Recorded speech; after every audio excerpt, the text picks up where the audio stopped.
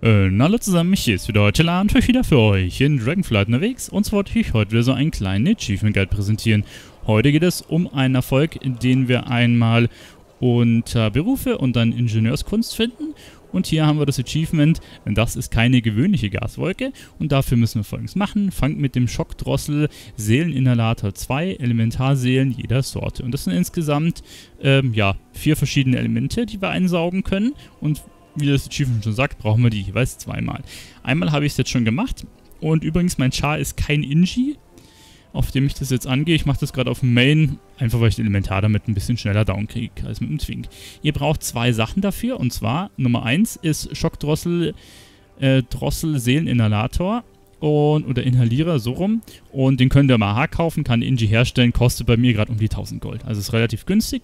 Und dann braucht ihr noch leerer Seelenkäfig, den kann ein Juve herstellen, kostet bei mir gerade um die 70 Gold. Und den braucht ihr achtmal, weil ihr acht Seelen einsaugen wollt.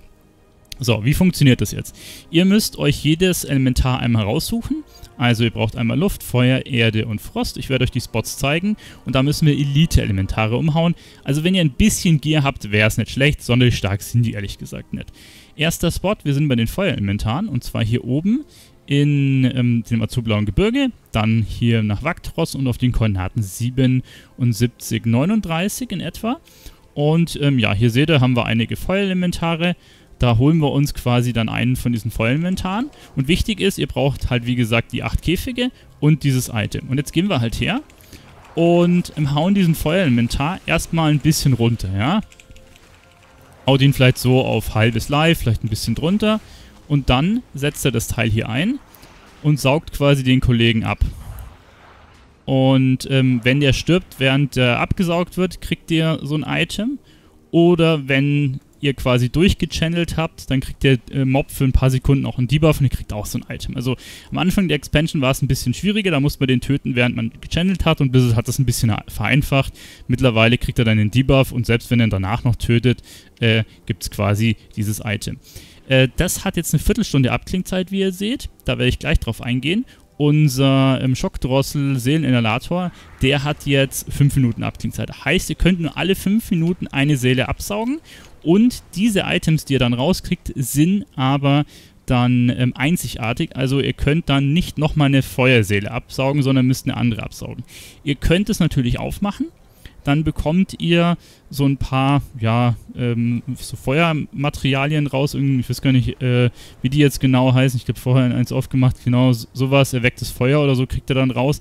Wenn ihr aber die Viertelstunde abwartet und erst dann das Ding aufmacht, dann bekommt ihr sehengebundene Mats, die ihr braucht, um unter anderem Rüstungen zu schmieden, beziehungsweise ihr habt dann auch eine Chance auf den Pet, was ganz gut Gold wert ist, weil das relativ selten ist. Also ich würde euch empfehlen, wenn ihr das hier eh schon macht, wartet die Viertelstunde und ähm, macht das Ding dann auf, dann kriegt ihr die, ja, mit einer hohen Wahrscheinlichkeit die wesentlich besseren Sachen raus. Ne? Also das ist auf jeden Fall wert. Genau. Ihr müsst ja eh 5 Minuten warten und braucht jedes Element. Heißt, jetzt können wir, während wir die 5 Minuten warten, schon mal zum nächsten Spot fliegen und am nächsten Spot quasi dann den nächsten Elementar machen, macht das einmal im Kreis und fangt dann wieder quasi am Anfang an beim Feuerinventar und ähm, dann ist bis dahin natürlich auch die Viertelstunde rum, weil wir müssen ja mal 5 Minuten warten. Vier Elemente mal 5 Minuten, 20 Minuten und dann sind wir quasi durch. Gut, ich fliege jetzt schon mal weiter. Und zwar ähm, gehen wir als nächstes zum Wasserelementar. Und das Wasserelementar, das befindet sich, ähm, also es gibt verschiedene Spots, ne, aber einen, den ich ganz gut finde, ist hier in den Ebenen von Onara. Und da sind wir jetzt gerade angekommen. Ähm, das ist hier auf den Koordinaten 55, 76 in den Ebenen von Onara. Und da haben wir in der Mitte ein Elite-Wasserelementar, das ist auch neutral. Und ähm, ja, den können wir quasi als nächstes holen. Ihr seht, hier sind die Teile bei mir gerade schon abgelaufen mit der Viertelstunde. Da war ich vorher dran. Das hat jetzt hier gerade noch 62 Sekunden. Das können wir zum Beispiel mal aufmachen. Gut, ich habe jetzt hier eine Luftseele gekriegt. Die können wir zum Craften brauchen. Was haben wir da drin? haben wir eine Wasser äh, Frostseele, die können wir auch zum Craften brauchen. Und ja, so können wir weiter gucken. Gut, jetzt müssen wir natürlich ein bisschen die Abklingzeit abwarten und dann sehen wir uns gleich wieder.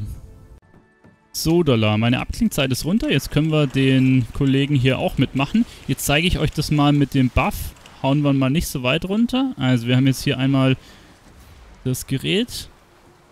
Und dann seht ihr, dann haben wir den Buff für 30 Sekunden drauf. Ja?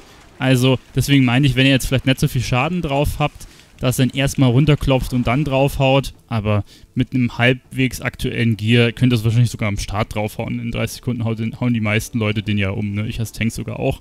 Also gar kein Stress. Seht ihr, da haben wir das Ding jetzt wieder. Das ist jetzt schon auf 8 Minuten und das Erdteil, was ich vorhin geholt habe. Ja, da ist jetzt blöderweise auch noch eine Seele drin gewesen. Naja, brauchst du mal ein bisschen Glück haben. Gut, und dann schauen wir zum nächsten Spot weiter. So, Dollar, dann sind wir am nächsten Spot. Und zwar sind wir jetzt einmal ähm, hier auf den Koordinaten 23, 37, immer noch in der Ebene von Onara. Und hier unten haben wir dann einen Sturmelementar. Ne? Der läuft hier die ganze Zeit im Kreis. Mein Gerät ist wieder einsatzbereit. Und dann würde ich sagen, äh, hauen wir den mal ein bisschen runter. Beziehungsweise eigentlich können wir es jetzt schon mal einsetzen.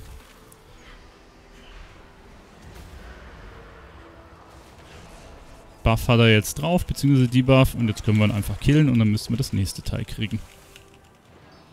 Zack, da haben wir es. Schauen wir mal rein. Ähm, wo waren wir? Berufe. Äh, dann Inji.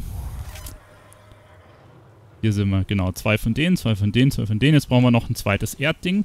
Wie gesagt, ich bin am Anfang schon mal ja eine Runde geflogen. Jetzt gucken wir noch zum Erdmob hin. Dann sind wir am letzten Spot und zwar sind wir jetzt in der Küste des Erwachens auf den Koordinaten 46, 35. Und hier haben wir dann Erdelementare.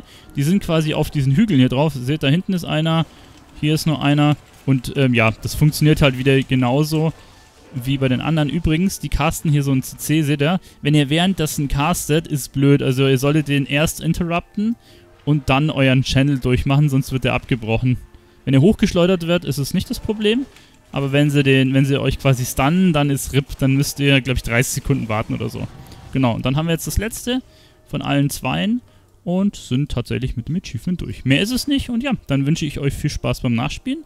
Wenn ihr wollt, könnt ihr mich gerne abonnieren und bei den nächsten Videos reinschauen. Euer Telar, bis zum nächsten Mal. Ciao.